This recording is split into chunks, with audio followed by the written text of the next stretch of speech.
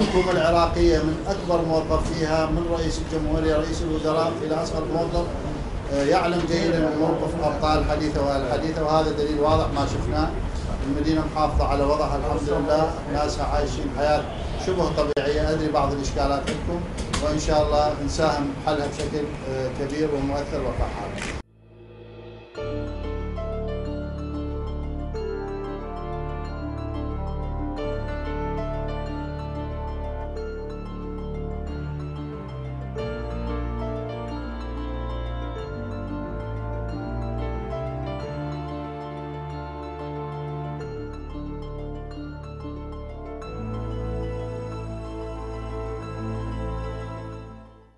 اليوم حقيقة تشرفنا بزيارة آه، قضاء حديثة والتقينا بالإخوان أعضاء مجلس المحافظة والشيوخ والوجهاء المقاتلين وزيارتنا الحديثة.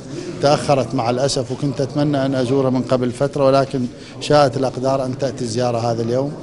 وزيارة طبيعية كأي مسؤول عراقي وزير في الحكومة المركزية العراقية يزور مدينة من المدن المباركة وحديثة له خصوصية حقيقة في قاموس الحكومة العراقية لأن حديثة صمدت وقاتلت جميع داعش الإرهابية وهذا ما سمعناه اليوم حقيقة من الإخوان الشيوخ. كان محل فخر واعتزاز الحكومة العراقية فلحديثه حق على الجميع وحق على الحكومة المركزية وحق خاص على وزارة الدفاع.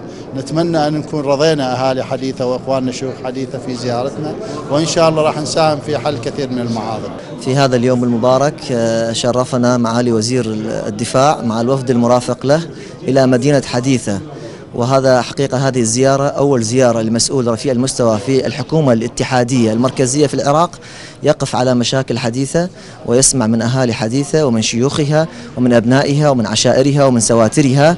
حقيقة نستبشر خير بهذه الزيارة. آه، حضر اليوم إلى مدينة حديثة لقضاء حديث السيد معالي السيد وزير الدفاع المحترم والقيادات الأمنية.